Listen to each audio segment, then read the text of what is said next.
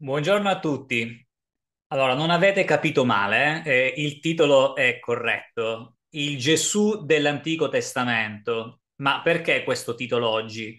Non soltanto perché stiamo continuando quel percorso nel cercare di comprendere ancora di più quello che è la conoscenza del Messia nel giusto contesto del tempo, quindi quando Gesù viveva in quella eh, Palestina, in quel territorio giudaico del primo secolo d.C., occupato dai Romani. Il giusto contesto anche culturale, in che modo veniva percepito dalla cultura ebraica il Messia, ma soprattutto anche il contesto pagano, in che modo era percepito il Messia del tempo dai, eh, dai pagani e quindi in questo caso dai Romani.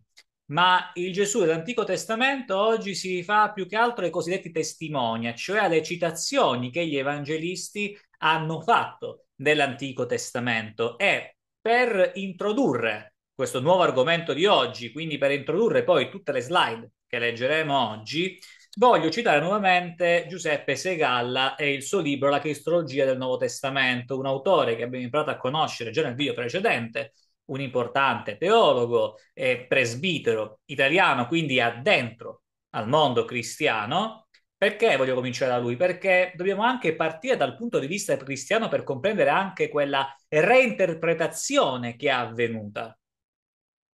Leggiamo infatti, partendo quindi da Giuseppe Segalla, che è appunto introduzione a questo nuovo argomento, la comunità primitiva di Gerusalemme, quindi i Gesuani, secondo questo autore, sembra abbia utilizzato con preferenza alcuni testi particolari dell'Antico Testamento per illustrare la persona e l'opera di Gesù. Possiamo noi riandare dai nostri libri canonici del Nuovo Testamento a questi testi particolari che vengono chiamati comunemente testimonia, perché sono testimonianze, secondo ovviamente la tradizione cristiana, a favore di Gesù.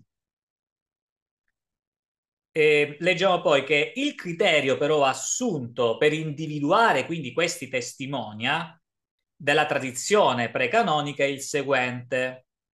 Testimonia sono quelle citazioni delle scritture che compaiono in tradizioni diverse del Nuovo Testamento almeno due volte, con l'introduzione è scritto o è stato scritto. Naturalmente, però, dice sempre Giuseppe Segalla, citando anche altri autori, altri specialisti del settore, questo criterio però è relativo, ma ha il vantaggio di essere però concreto. A me sembra, quindi scrive l'autore, che nei limiti della sua relatività sia in ogni caso utile per individuare quei testi che più spesso ricorrono nel, nel Nuovo Testamento e che presentano quindi la possibilità di essere stati adottati come testimonia. E poi cita eh, i vari testimoni, quindi testimonia più importanti del Nuovo Testamento, quelli che si riferirebbero a Gesù, eh, quindi citazioni veterotestamentarie che secondo i cristiani poi sarebbero delle prefigurazioni alla figura di Gesù e questi che cita per l'appunto Giuseppe Segalla noi oggi li vedremo li analizzeremo insieme, li leggeremo e poi come sempre faremo le nostre solite e dovute conclusioni in merito. Prima di iniziare è doverosa una premessa. Come potete ben vedere, parte del testo è messo in grassetto e sottolineato. Questo perché sono quelle porzioni di testo citate direttamente dagli evangelisti e inseriti nei Vangeli. Quindi noi ci muoveremo in questo modo, leggeremo prima diretti testimoni cristiani e poi successivamente vedremo in quale tipo di contesto letterario esattamente sono inseriti.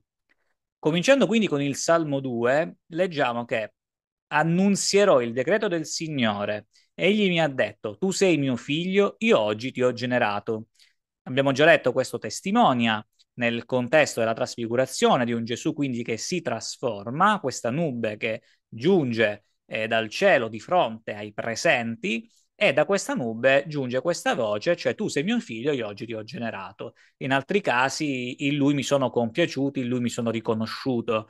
E, ehm, quello che però è interessante notare è che mentre la tradizione cristiana riconosce in questo testimone, quindi in questa piccola citazione del Salmo 2, ecco la chiara identificazione del Gesù divino, figlio di Dio, eh, in realtà dobbiamo secondo me leggere l'intero Salmo 2 e vedere esattamente il testimone in quale contesto si inserisce. Perché se noi Ecco, leggiamo il Salmo 2 e vediamo che si parla del Signore, quindi di Yahweh, il Dio ebraico, e del suo Messia, e della congiura dei re della terra contro di loro. Un, eh, un, Dio ebraico che è pronto a costituire il suo sovrano, quindi il Messia come sovrano, eh, e che gli darà quindi in possesso le genti e in dominio i confini della terra. Quindi distruggerà i sovrani della terra con scettro di ferro come vasi di argilla li frantumerà. E i sovrani quindi dovranno accettare essere saggi e servire Dio con timore e con tremore esultare verso di lui. Quindi direi che il contesto letterario è alquanto chiaro, non si sta rivendicando una figliolanza divina del Messia, non c'è un Messia che ha una qualifica divina sovrannaturale o addirittura trascendentale, ma il figlio di Dio, come abbiamo sempre detto, è una qualifica tanto quanto quella del figlio dell'uomo, tanto quanto quella del figlio del benedetto, tanto quanto quella del Messia. Eh, quindi il contesto del Salmo 2, così come altri testi veterotestamentali che tra poco leggeremo, si inseriscono all'interno di quella pura propaganda politica. Il Salmo 8, eh, quindi il testimone che riprende dal Salmo 8, recita così.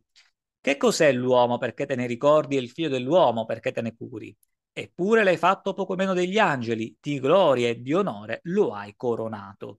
E in alcune versioni vi è scritto lo hai fatto poco meno di Dio, poco sotto Dio. E anche qui eh, molti eh, dei cristiani, la tradizione cristiana rivendica che qui una vicinanza alla divinità, una natura divina del figlio dell'uomo. In realtà, se noi leggiamo l'intero Salmo 8, anche se in maniera meno esplicita del Salmo 2, eh, si fa riferimento alla prima parte, all'affermare la propria potenza contro i suoi avversari, nel ridurre quindi il silenzio ai nemici e ai ribelli, e successivamente il testimonia dare potere ehm, su tutto quello che la terra offre, i greggi, gli armenti, le bestie, la campagna, i pesci del mare, perché per quindi rivendicare questo potere del figlio dell'uomo. Non si fa eh, esplicito riferimento a un potere regale, ma comunque a un potere su quella stessa terra, su quella stessa generazione, su quella stessa realtà. Qui non c'è nessun riferimento a mondi trascendentali o spirituali, nessun riferimento al figlio dell'uomo che è come Dio. Poi abbiamo il Salmo 110, un salmo molto particolare anche nel suo incipit, come potete ben leggere. Il Signore ha detto al mio Signore, parte così. Siede alla mia destra finché io abbia fatto dei tuoi nemici lo sgabello dei tuoi piedi. Questo testimonia è citato dagli evangelisti quando Gesù è di fronte al Sinedrio dicendo e parlando del figlio dell'uomo che siede alla destra, che è pronto a sedere alla destra di Dio. Anche qui è riconosciuta dalla tradizione cristiana, dall'esegesi cristiana, una, eh, un'esplicitazione eh, della eh, natura divina di Gesù, perché chiunque eh, si sieda alla destra di Dio si sta facendo uguale a Dio. In realtà, per la tradizione ebraica non è assolutamente così. E, oltretutto, come potete ben vedere, ho messo in rosso e, e in stampatello il Signore a differenza dell'altro Signore perché l'incipit di questo salmo, del salmo 110, può effettivamente portare un po' di confusione, eh, perché vi sono due signori, ho tutto scritto in quel modo. E alcune versioni della Bibbia per l'appunto riporta il Signore scritto grande in quel modo, cioè in rosso e in stampatello, cioè in rosso l'ho messo io, ma in stampatello, eh, tanto proprio da differenziarlo dall'altro Signore. Chi è il primo? Beh, il Signore non è altro che Yahweh, quindi il nome impronunciabile per gli ebrei, ma quindi il dio ebraico. Mentre l'altro Signore eh, in ebraico è ripreso con il termine non Adonai, ma Adoni. Eh, perdonerete per la pronuncia, che invece, secondo la tradizione ebraica, ma anche un certo tipo di esegesi cristiana, ecco, molto più onesta, possiamo dire così, non è altro che la figura regale. Quindi è il re, il consacrato. E quindi, se noi volessimo leggerlo in maniera letterale dall'ebraico, sarebbe oracolo di Yahweh, oracolo di Yahweh al suo sovrano, al suo re. E, ehm, in molti, ovviamente, questo re poi lo hanno letto come il Messia. Quindi è Yahweh che al suo re dice siederai alla mia destra finché io abbia fatto dei tuoi nemici lo sgabello ai tuoi piedi. Quindi già qua è alquanto chiara quella che è la minaccia anche militare, politica, se pensiamo che questo salmo è stato citato da Gesù di fronte alla cassa sacerdotale. Inoltre è sempre Yahweh, leggiamo, il Signore stenderà da Sion lo scettro del tuo potere, quindi è Yahweh che dice al suo re, ecco, avrai lo scettro del potere, dominerai in mezzo ai tuoi nemici, il tuo popolo si offrirà volenteroso quando radunerai il tuo esercito, parata di santità dal seno dell'alba, la tua gioventù viene a te come rugiada, ed è sempre Yahweh che ha giurato, continuiamo a leggere il Salmo 110, ha giurato e non si pentirà, e dice quindi al sovrano, quindi al re, al messia regale, tu non solo hai potere regale, ma sei anche sacerdote in eterno secondo l'ordine di Melchisedec. Quindi immaginate un Gesù che di fronte al Sinedrio, quindi a quella casta sacerdotale collusa con il potere romano, che cita il Salmo 110 e non soltanto rivendica la sua regalità messianica, ma citando il Salmo 110 dirà anche io sono sacerdote in eterno, quindi rivendico la qualifica di re sacerdote. Quindi non soltanto la figura regale, ma prenderò anche la vostra, eh, la vostra qualifica sacerdotale, tornando a essere quel messia regale sacerdotale, quel re sacrale ai tempi del re Davide e anche prima. Quindi è interessante leggere il Salmo 110 all'interno del giusto contesto e quindi anche rileggere questo Salmo 110 alla luce del contesto di un Gesù che lo cita di fronte al Sinedrio. E ancora, il Signore, in questo caso il Messia legale, alla tua destra, quindi alla destra di Yahweh, schiaccia i re nel giorno della sua ira, giudica i popoli, ammucchia i cadaveri, stritola la testa ai nemici in un vasto territorio, si disseta al torrente lungo il cammino e perciò terrà alta la testa. E, eh, qui torna nuovamente la mh, domanda legittima, ma in che modo poteva essere percepito un salmo del genere quindi dai sacerdoti, ma anche dagli stessi romani nel momento in cui eh, comprendevano eh, e conoscevano il contenuto di questo salmo e in che modo dovevano percepirlo se non come parole, eh, come parole sovversive e quindi anche terroristiche. E quindi trova coerenza la condanna a morte di Gesù per crocifissione. Siamo nel Salmo 118, il testimonia recita La pietra scartata dai costruttori è divenuta testata d'angolo, ecco l'opera del Signore, una meraviglia ai nostri occhi. Eh, tutta la tradizione cristiana ancora oggi eh, associa questo testimonia ovviamente a Gesù. Chi è la pietra costru- scassata dai costruttori che è divenuta testata d'angolo? Non è altro che Gesù. Però, come dico sempre, leggiamo l'intero Salmo 118 che è utilizzato per esempio eh, quando Gesù entra a Gerusalemme, quindi il popolo festante che urla Osanna, figlio di Davide, benedetto colui che viene nel nome del Signore. E leggiamo, per esempio, che tutti i, hanno, tutti i, popoli mi hanno, circondato, ma nel nome del Signore li ho sconfitti. Mi hanno circondato, mi hanno accerchiato, ma nel nome del Signore li ho sconfitti. Mi hanno circondato come api, come fuoco che divampa tra le spine, ma nel nome del Signore li ho sconfitti. Mi avevano spinto con forza per farmi cadere, ma il Signore è stato mio aiuto. Questo l'abbiamo anche visto e letto insieme nei video precedenti, ma è interessante che qui entrare nel contesto, il popolo festante che urra il Salmo 118, benedetto colui che viene nel nome del Signore, e il contenuto del Salmo recita i, i popoli, i nemici mi hanno circondato, ma nel nome del Signore li ho sconfitti. Quel Signore, quindi Yahweh, il Dio ebraico, che è pronto a eh, inviarci quel Messia liberatore quel Messia liberatore che dirà non morirò, resterò in vita e annunzierò le opere del Signore. Il Signore mi ha provato duramente, ma non mi ha consegnato alla morte. Quindi un Messia che non doveva nemmeno morire. Quindi si va contro quella che è la reinterpretazione cristiana. Un Messia vincitore. Certo, il Signore, quindi il suo Dio, eh, gli ha dato tante prove, lo ha provato duramente, ma non lo ha consegnato alla morte. Questo perché? Perché il discorso e, e il ragionamento ovviamente logico anche per delle menti, una mente come quella giudaica ebraica del tempo molto pragmatica, il condottiero liberatore doveva per forza vincere, non doveva morire. Se moriva significava che aveva perso. Eh, quindi anche qui siamo all'interno di un contesto, così come il Salmo 110, di pura propaganda militare politica. Poi abbiamo Isaia 6. Eh, con Isaia siamo all'interno del, di un contesto esilico post-esilico di, di, di poco successivo. Leggiamo prima il testimonia. Egli disse, va e riferisce a questo popolo, ascoltate pure ma senza comprendere, osservate pure ma senza conoscere. Rendi insensibile il cuore di questo popolo, fallo duro d'orecchio e acceca i suoi occhi, e non veda con gli occhi, né oda con gli orecchi, né comprenda con il cuore, né si converta in modo da essere guarito. La tradizione cristiana l'associa all'Israele incapace di comprendere, tant'è che i primi apologeti cristiani utilizzano anche questo passaggio di Isaia 6 per giustificare eh, la mancata consapevolezza da parte del popolo giudaico nell'aver riconosciuto Gesù come Messia, tant'è che i cristiani a partire da Paolo si riconoscono come l'unico vero Israele eh, e quindi dicendo anche qui, ripeto, eh, partendo da Paolo, non tutti quelli che discendono da Israele sono veri Israele, ma quelli che sono circoncisi nel cuore, coloro che hanno compreso la vera natura del Cristo, il Cristo divino, sono il vero Israele. Quindi anche qui, ecco, entriamo in un contesto completamente differente, perché se poi leggiamo interamente Isaia 6 e quindi continuando la nostra lettura, io dissi, fino a quando, Signore? Egli rispose, finché non siano devastate le città senza abitanti, le case senza uomini e la campagna resti deserta e desolata. Anche qui, quindi un messaggio certamente non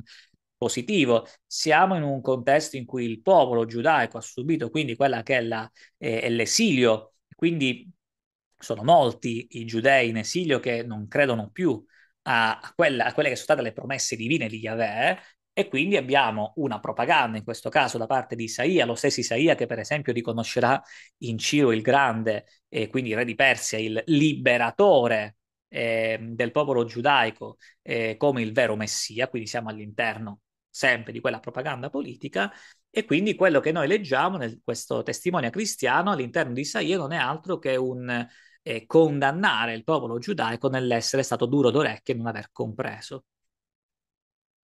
Vediamo poi Isaia 28. Questo eh, va letto per intero. Eh, tra poco capiremo perché. Intanto leggiamo il testimonia. Ecco, io pongo una pietra in Sion, una pietra scelta, angolare, preziosa, saldamente fondata. Chi crede non vacillerà. Qui richiama Gesù, la famosa pietra angolare è abbastanza ovvia per i cristiani, che però citano per l'appunto soltanto questo pezzo di Isaia 28. Leggiamolo invece interamente per comprendere il contesto letterale. Letterale e anche letterario. Ecco, inviato dal Signore, un uomo potente e forte, come nembo di grandine, come turbine rovinoso, come nembo di acque torrenziali e impetuose, getta tutto a terra con violenza. Dai piedi verrà calpestata la corona degli ubriachi di Efraim, e avverrà il fiore caduco del suo splendido ornamento che domina la valle fertile come un fico primaticcio prima dell'estate. Uno lo vede, lo coglie e lo mangia appena lo ha in mano. In quel giorno sarà il Signore degli eserciti, una corona di gloria, uno splendido diadema per il resto del suo popolo, ispiatore di giustizia per chi siede in tribunale, forza per chi respinge l'assalto alla porta. Quindi si parla di questo, di questo condottiero, di questo condottiero, di questo uomo potente e forte che è pronto quindi a eh, liberare Israele. Ehm, attraverso che cosa? Attraverso quello che è l'azione diretta da parte del Signore, quindi da parte di Yahweh, del Dio ebraico. Perciò ascoltate la parola del Signore, uomini arroganti, signori di questo popolo che sta in Gerusalemme. Voi dite, abbiamo concluso un'alleanza con la morte, con gli inferi abbiamo fatto lega. Il flagello del distruttore, quando passerà, non ci raggiungerà perché ci siamo fatti della menzogna un rifugio e nella falsità ci siamo nascosti. Poi abbiamo il testimone già citato, che chiude con io porrò il diritto come misura e la giustizia come una livella. Quindi eh, abbiamo un contesto in cui la Gerusalemme sembra aver fatto un patto, un patto con quello che è il nemico, un'alleanza con la morte e con gli inferi. Quindi è molto interessante questo, ci troviamo sempre all'interno di quel contesto esilico, quasi post-esilico, con una promessa però da parte del Dio ebraico, che parla eh, attraverso Isaia. La grandine spazzerà via il vostro rifugio fallace, le acque travolgeranno il vostro riparo. Sarà cancellata la vostra alleanza con la morte, la vostra lega con gli inferi non reggerà. Quando passerà il flagello del distruttore, voi sarete la massa da lui calpestata. Ogni volta che passerà, vi prenderà, poiché passerà ogni mattino, giorno e notte. Quindi è sempre un contesto politico-militare, di pura propaganda, perché bisognava far tornare la paura e il terrore di Yahweh, del Dio ebraico, che secondo Isaia non aveva mai abbandonato effettivamente il popolo, un popolo che doveva sapere che sarebbe arrivata comunque la punizione divina. E poi sappiamo che fra qualche capitolo lo stesso Isaia parlerà di Ciro come l'unto di Yahweh, come il Messia, nonostante comunque Ciro sia in realtà re di Persia e figlio del dio Marduk. Abbiamo adesso Isaia 40, quindi siamo un paio di capitoli prima, se non ricordo male, la menzione poi a Ciro, a Ciro il Grande. Leggiamo prima il testimonia. Una voce grida, nel deserto preparate la via al Signore, appianate nella steppa la strada per il nostro Dio. Ogni valle sia colmata, ogni monte e colle siano abbassati. Il terreno accidentato si trasformi in piano e quello scosceso in pianura. Allora si rivelerà la gloria del Signore e ogni uomo la vedrà, poiché la bocca del Signore ha parlato. Questo è un testimone famosissimo che è citato a più riprese nell'inizio dei vari Vangeli, quando si vuole citare eh, Giovanni il Battista, anzi è associato proprio a Giovanni il Battista, colui che urla nel deserto, che è pronto a preparare la strada del Signore, il famoso preparatore del Messia. Ma anche qui, se lo leggiamo invece nel vero contesto di Isaia, ecco che Consolate, consolate il mio popolo, dice il vostro Dio, parlate al cuore di Gerusalemme e gridatele che è finita la sua schiavitù, è stata scontata la sua iniquità perché ha ricevuto dalla mano del Signore doppio castigo per tutti i suoi peccati. Come vi dicevo, siamo in, nei capitoli precedenti all'avvento di Ciro il Grande, l'unto e il Messia di Yahweh, e quindi Isaia 40 dice, ecco, consolatevi, nonostante la tribolazione, la punizione del vostro Dio, ecco, eh, è finita la schiavitù e ci deve essere qualcuno che urla nel deserto che bisogna preparare la strada al Dio, quindi al Signore, a Yahweh, perché? Perché si rivelerà la sua gloria. Quindi siamo lontani da quel contesto evangelico secondo cui colui che eh, urla nel deserto è Giovanni il Battista per preparare la strada al Messia. Assolutamente no. Il contesto di Isaia è legato a un altro tipo di contesto storico, anche qui in questo caso politico, perché si sta parlando ovviamente di Ciro che è pronto a liberare eh, il popolo di Israele dal gioco straniero, quindi dall'esilio babilonese. Ci sarebbe anche la citazione di Isaia 53, eh, l'ultimo carme del servo sofferente, ma non l'ho messo in questo video per una ragione, e cioè che è troppo lungo. Se ne dovrebbe parlare veramente tanto ed ecco perché vi invito a recuperare, ma lo troverete poi qui su schermo alla fine di questo video, eh, il video proprio del servo sofferente che trovate su questo canale dove andremo, dove andrò ecco, a spiegare in maniera molto approfondita la, la questione del servo sofferente perché non può essere associata a Gesù. Però ovviamente se volete che io faccia un nuovo video sul servo sofferente per approfondire ancora di più questo aspetto, scrivete nei commenti e se riceverò tante richieste, allora poi preparerò un video dedicato. Andiamo poi in Genesi 12, Genesi 22. Siamo in un contesto abramitico, quindi pre-mosaico. Abbiamo quindi Abramo che eh, lascia la sua terra eh, il testimonia di Genesi 12 dice benedirò coloro che ti benediranno e coloro che ti malediranno maledirò e in te si diranno benedette tutte le famiglie della terra. Questo testimonia, per esempio, è utilizzato quando Gesù dice agli apostoli: Vi do un mandato e coloro che voi benedirete saranno benedette, coloro che voi maledirete saranno maledette, eccetera, eccetera. Però siamo in un contesto completamente differente, non c'entra nulla tutto questo, in quanto in Genesi 12 leggiamo che il Signore disse ad Abramo: Vattene dal tuo paese, dalla tua patria dalla casa di tuo padre, verso il paese che io ti indicherò. Farò di te un grande popolo e ti benedirò. Renderò grande il tuo nome e diventerai una benedizione. Quindi, come potete ben vedere, siamo in un contesto totalmente differente. Non si tratta di dare mandato agli apostoli, di dare potere agli apostoli, addirittura forse in molti hanno trovato anche una rivendicazione di potere politico, quindi addirittura il Papa attraverso Pietro che eh, può sciogliere e unire tutto ciò che è in terra e in cielo, benedire e maledire a piacimento. Assolutamente no. Qui è semplicemente questo Dio, che non è detto neanche che sia Yahweh, questo Dio che si incontra con Abramo e gli fa un certo tipo di promessa legato al suo popolo. Quindi siamo sempre all'interno comunque del popolo abramitico, neanche del popolo di Israele. Genesi 22, il testimone recita: Saranno benedette per la tua discendenza tutte le nazioni della terra, perché tu hai obbedito alla mia voce. Anche qui un riferimento a Gesù, quindi se voi mi obbedite sarete benedetti. Ma eh, anche qui il contesto è completamente differente, perché siamo in quella narrazione in cui Abramo è pronto a uccidere suo figlio eh, l'angelo del Signore, quindi l'angelo uh, di, di, Dio, ecco, possiamo così, eh, ferma la mano di Abramo eh, e vista questa prova di fede, di fiducia, ecco, eh, gli viene fatta questa, questa promessa, però come potete ben vedere siamo in un contesto totalmente differente, quindi questo testimonia cristiano che andrebbe a rivendicare la figura del Messia che è in grado di benedire o di maledire, eccetera, insomma non trova ragione d'essere. Ora siamo in Geremia 31, contesto di poco precedente all'esilio babilonese, eh, è il contesto in cui scrive per l'appunto il profeta Geremia. Questo è il testimonia. Ecco verranno giorni, dice il Signore, nei quali con la casa di Israele e con la casa di Giuda io concluderò un'alleanza nuova, non come l'alleanza che ho conclusa con i loro padri, quando li presi per mano per farli uscire dal paese d'Egitto, un'alleanza che essi hanno violato, benché io fossi loro Signore Parola del Signore, questa sarà l'alleanza che io concluderò con la casa di Israele dopo quei giorni, dice il Signore. Porrò la mia legge nel loro animo, la scriverò sul loro cuore, allora io sarò il loro Dio ed essi il mio popolo. Non dovranno più istruirsi gli uni gli altri dicendo riconoscete il Signore, perché tutti mi conosceranno, dal più piccolo al più grande, dice il Signore, poiché io perdonerò la loro iniquità e non mi ricorderò più del loro peccato.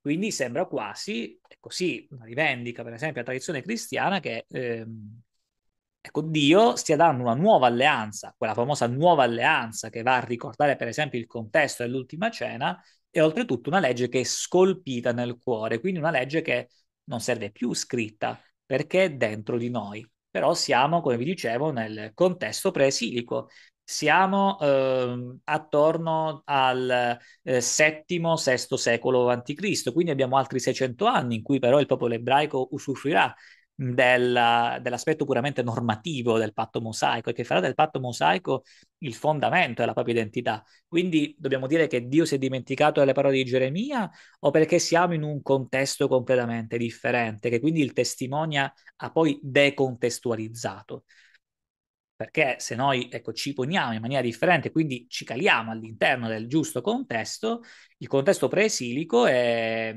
è alquanto chiaro. Abbiamo una casa di Israele e casa di Giuda che eh, stanno facendo alleanze con altri popoli, comunque stanno abbracciando altri riti e quindi è necessario invece promettere una nuova alleanza, una nuova alleanza per suggellare quindi quel patto tra Dio e il popolo di Israele e il popolo di Giuda eh, prima che accada un qualcosa che può essere invece deleteria. Tant'è che infatti leggiamo, così dice il Signore che ha fissato il sole come luce del giorno, la luna e le stelle come luce della notte, che solleva il mare e ne fa mucchiare le onde, e il cui nome è Signore degli eserciti. Quando verranno meno queste leggi dinanzi a me, allora anche la progenie di Israele cesserà di essere un popolo davanti a me per sempre. Quindi voi immaginate, dato che comunque tutte le profezie all'interno dell'Antico Testamento sono post-eventum, cioè quindi scritte dopo che il fatto è accaduto, e il riferimento alla, al, all'esilio babilonese è alquanto chiaro.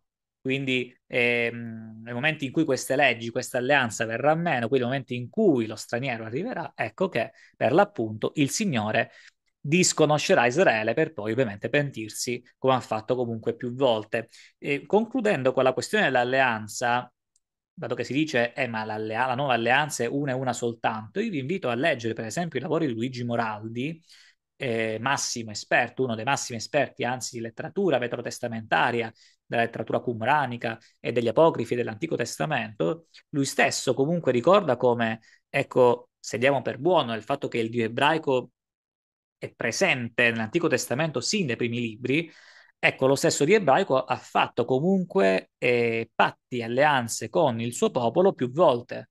Il patto con Abramo, il patto con Mosè, il patto con Giosuè, lo stesso Giosuè quando entrano quindi nella terra promessa dirà abbiamo un nuovo patto con Yahweh, il patto con Davide per esempio, e qui con Geremia si parla anche di una nuova alleanza. Quindi vi sono stati diversi patti, ecco, diversi, diversi contratti in merito, proprio perché eh, Israele più volte tradiva il suo Dio. eh, mentre Yahweh è sempre stato fedele comunque al patto che era pronto a suggellare.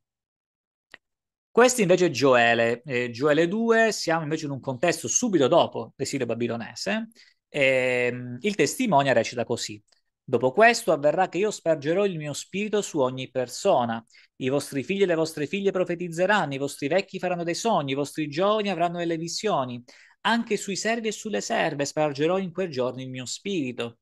Farò prodigi nei cieli e sulla terra, sangue, fuoco e colonne di fumo. Il sole sarà cambiato in tenebre, la luna in sangue, prima che venga il grande e terribile giorno del Signore. Chiunque invocherà il nome del Signore sarà salvato, poiché sul monte Sione a Gerusalemme vi sarà salvezza, come ha detto il Signore, così pure tra i superstiti che il Signore chiamerà. Il richiamo, per esempio, al Paraclito è chiarissimo. E, ehm, quindi abbiamo quel riferimento, per esempio, allo Spirito Santo che è pronto a essere infuso sugli apostoli e comunque su, eh, gli, eh, su comunque gli adepti, sui ehm, discepoli, eh, sui cristiani. Eh, però anche qui il contesto è completamente differente. Siamo in un contesto di subito dopo all'esilio babilonese e leggiamo dall'inizio Gioele che recita mangerete a sazietà e loderete il nome del Signore vostro Dio che avrà operato per voi meraviglie e il mio popolo non sarà mai più coperto di vergogna. Conoscerete che io sono in mezzo a Israele, che io sono il Signore vostro Dio e non c'è nessun altro e il mio popolo non sarà mai più coperto di vergogna. Quindi si parla di un ritrovare un'identità perduta, come scrivo per esempio nel mio libro L'Apocalisse di Gesù, un'identità perduta che Israele doveva recuperare dopo l'esilio babilonese. Quindi il contesto anche qui è completamente differente, non si fa riferimento al Messia che infonde lo spirito, ecco, sui suoi adepti, sui suoi discepoli. Quindi anche qui i testimoni cristiani sono del tutto decontestualizzati. Anche qui siamo in periodo post-esilico, come sto ben sottolineando nel titolo e anche questo va letto in larga parte. Il testimonia recita così. Esulta grandemente, figlia di Sion, giubila, figlia di Gerusalemme. Ecco, a te viene il tuo re, egli è giusto e vittorioso, umile, cavalca un asino, un puledro, figlio d'asina. Eh, riferimento all'ingresso di Gesù a Gerusalemme è chiarissimo, il Gesù che cavalca quindi quest'asina, eh, addirittura eh, il Vangelo di Matteo, se non ricordo male, per cercare di far aderire ancora meglio questa profezia, fa cavalcare Gesù sia su un puledro che su un'asina, perché vuole essere assolutamente sicuro, e sono in molti ad affermare, ma qua si sta parlando effettivamente del Messia, del re, ed è effettivamente vero, un re che, come possiamo leggere subito dopo il testimonia, Farà sparire i carri da Efraim e i cavalli da Gerusalemme, l'arco di guerra sarà spezzato, annunzierà la pace alle genti, il suo dominio sarà da mare a mare e dal fiume confine la terra. È chiaro che si sta parlando di Gesù, è chiaro che si sta parlando di una nuova idea di Messia, dicono gli esegeti cristiani. Quindi è Zaccaria che chiarissimamente sta sancendo una nuova idea di Messia. Sì, un re, un re che deve dominare, ma non con violenza, ma con benevolenza ma come dico sempre, leggiamo interamente Zaccaria 9. In questo caso non la prima parte, dove si parla comunque dei vari re che sono pronti a essere sconfitti, ma leggiamo invece quello che abbiamo, subito dopo quello che abbiamo letto. Quindi, se da una parte abbiamo questo re che è pronto a spezzare l'arco da guerra e annunciare pace alle genti, poi leggiamo. Ve l'annunzio fino ad oggi, vi ripagherò due volte. Tendo Giuda come mio arco, Efraim come un arco teso. Ecciterò i tuoi figli, Sion, contro i tuoi figli, Grecia. Ti farò come spada di un eroe. Allora il Signore comparirà contro di loro, come fulmine guizzeranno le sue frecce.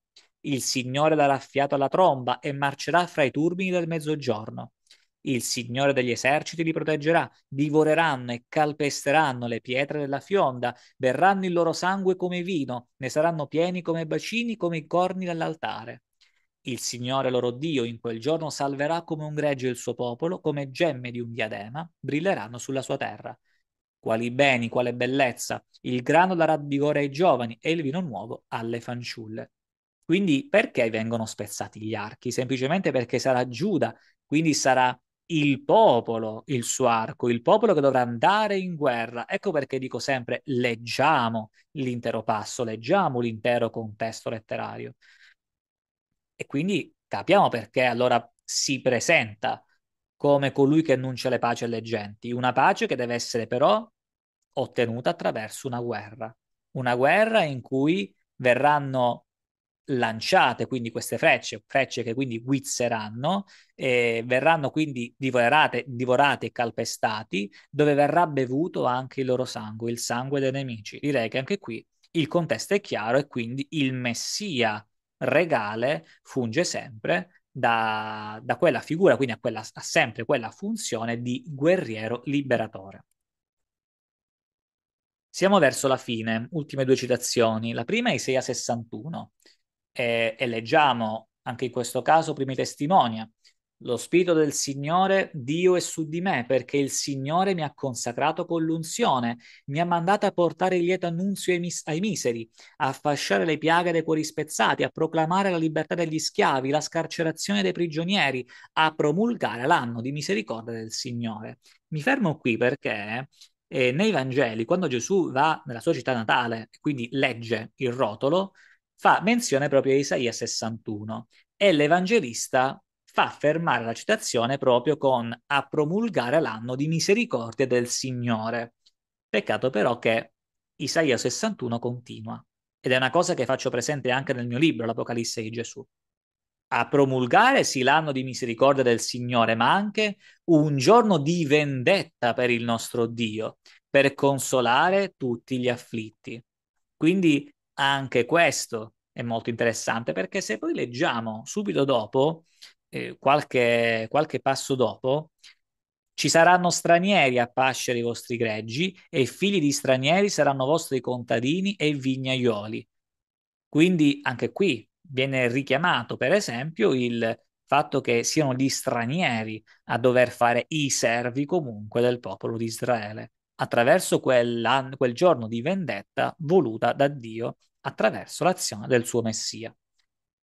Per ultimo, Deuteronomio 18, quindi questo è il testimonia, il Signore tuo Dio susciterà per te in mezzo a te fra i tuoi fratelli un profeta pari a me. A lui darete ascolto. Avrai così quanto hai chiesto al Signore tuo Dio sull'Oreb il giorno dell'assemblea, dicendo che io non oda più la voce del Signore mio Dio e non veda più questo grande fuoco perché non muoia. Il Signore mi rispose, quello che hanno detto va bene. Io susciterò loro un profeta in mezzo ai loro fratelli e gli porrò in bocca le mie parole ed egli dirà loro quanto io gli comanderò. Se qualcuno non ascolterà le parole che egli dirà in mio nome, io gliene domanderò conto. Quindi qua si parla effettivamente di un profeta, di un profeta che arriverà subito dopo. E, ehm, tralasciando poi quale può essere effettivamente la vera identità di questo profeta, ma non si fa comunque menzione a Gesù, siamo in un contesto eh, tra l'esodo e la conquista comunque, o meglio l'entrata poi nella terra promessa, quindi siamo di molto, ma molto lontani, 1200 anni prima la nascita di Gesù. Non è una profezia certamente riferita a Gesù, ma anche se fosse, leggiamo quello che vi è scritto dopo. Ma il profeta che avrà la presunzione di dire in mio nome una cosa che io non gli ho comandato di dire, o che parlerà in nome di altri dei, quel profeta dovrà morire. Se tu pensi, come riconosceremo la parola che il Signore non ha detta? Quando il profeta parlerà in nome del Signore e la cosa non accadrà e non si realizzerà, quella parola non l'ha detta il Signore, l'ha detta il profeta per presunzione, di lui non devi aver paura. Quindi, anche se si dovesse riferire a Gesù questo passo, quando Gesù dice queste cose accadranno in questa stessa generazione, il regno di Dio arriverà in questa generazione, voi non morrete, beh, se diamo fede comunque a Deuteronomio 18, allora quando il profeta parlerà in nome del Signore, la cosa non accadrà e non si realizzerà, quella parola il Signore non l'ha detta. Quindi possiamo dire che Gesù è stato un profeta comunque che ha sbagliato, che non è riconosciuto comunque dal Dio ebraico secondo Deuteronomio 18. Ma questa profezia o comunque questo passaggio non si rifà a Gesù, ma si rifà quindi a un contesto completamente differente e anche in questo caso abbiamo un altro testimonia cristiano che dovrebbe rifarsi al Messia, ma che in realtà si rifà a un qualcosa di completamente differente legato esclusivamente al contesto d'origine. Parlando perciò dei cosiddetti testimoni cristiani, possiamo effettivamente parlare di una sorta di prefigurazione del Gesù del Nuovo Testamento, del Cristo dei cristiani, del Messia dei cristiani? Assolutamente no. Certo, molte citazioni parlano effettivamente del Messia, ma del Messia ebraico, del Messia della tradizione della cultura ebraica, del Messia che era un guerriero, un soldato, il preferito di Yahweh, che doveva assolvere uno specifico compito, il compito cioè di salvare e liberare Israele per ridonare la terra destinata al popolo di Israele, terra che era di Yahweh, del Dio ebraico, esclusivamente del Dio ebraico, quindi non un messia di stampo soteriologico, quindi destinato a tutto il mondo, non doveva certo salvarci da un presunto peccato originale, assolutamente no, questa invenzione di Paolo, più volte l'abbiamo detto, e soprattutto non è un messia né spirituale né divino né addirittura trascendentale, citando sempre ecco Giuseppe Segalla nel video precedente. Non vi è nessuna presupposizione di tutto questo, nessun elemento che lasci presagire, che comunque lasci intendere che il Messia avesse tutte queste caratteristiche, anzi il Messia era sì il preferito di Yahweh, il preferito del Dio ebraico, ma era perfettamente umano, incasellato in quell'umanità, in quella realtà e soprattutto che doveva risolvere ogni cosa in quella stessa generazione ed è per questo che per l'appunto Gesù nelle citazioni eh, del Nuovo Testamento, quelle che si presuppongono essere effettivamente di stampo gesuano, quel richiamo al, al, alle armi, quel richiamo anche al tenersi pronti per l'avvento del regno di Dio terreno e politico in quella stessa generazione. Nessun altro sarebbe morto prima dell'arrivo effettivo del regno di Dio, una promessa che però è stata disattesa. Ecco perché dico sempre importante la conoscenza del contesto, perché nel momento in cui, in cui comprendiamo il Messia in quale contesto è ben incasellato, politico, militare, sociale, culturale, allora è ben comprensibile la contezza effettiva della figura del Messia in quel dato momento, in quella data epoca, e soprattutto per gli scrittori pagani, per quale motivo, ecco, condannavano una persona che si ehm, eh, professava Messia all'interno sempre di quel contesto, per esempio nelle guerre giudaiche che erano ben conosciute agli autori pagani, e perché quindi abbiamo di conseguenza una logica condanna per crocifissione destinate soltanto ai sobilatori del popolo e agli schiavi. Ma dato che Gesù non è uno schiavo, nessuna fonte ecco, ce lo indica come schiavo, direi che il, la soluzione a questo mistero, che mistero comunque non è, è abbastanza chiara. Quindi io vi lascio con tutto quello che ci siamo detti oggi. Come sempre vi ricordo i miei canali social, Esposito Francesco Scrittore per Facebook, ovviamente YouTube Francesco Esposito. Continuate a mettere mi piace, iscrivervi, a usufruire della funzione grazie se volete continuare a contribuire alla crescita di questo canale. Qui sotto i link Amazon per i miei libri, Parlo di terza dimensione del cristianesimo, Parole cristiane, Gesù semidio e per ultimo l'Apocalisse di Gesù che è protagonista di queste ultime settimane e perciò noi ci diamo appuntamento al prossimo video e alla prossima chiacchierata insieme. Ciao a tutti e grazie.